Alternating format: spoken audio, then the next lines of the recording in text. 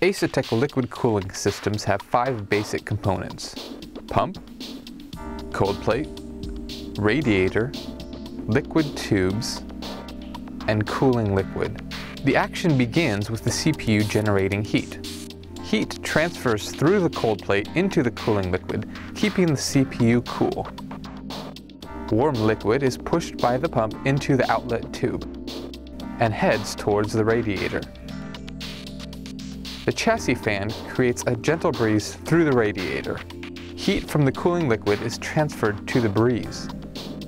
Heat is quietly blown out of the chassis, keeping the inside cool.